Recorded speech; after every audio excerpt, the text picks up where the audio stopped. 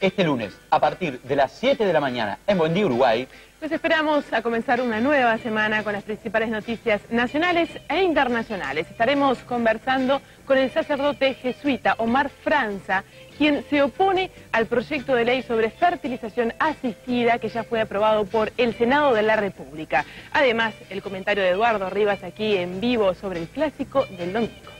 Sara Perrone y Heber Vera presentan sus trabajos para la novia de Buendí, Uruguay. Más tarde, la doctora Natalia Trenqui nos habla del llanto de los bebés, un mensaje que hay que descifrar. Este lunes los esperamos en Buen Día Uruguay.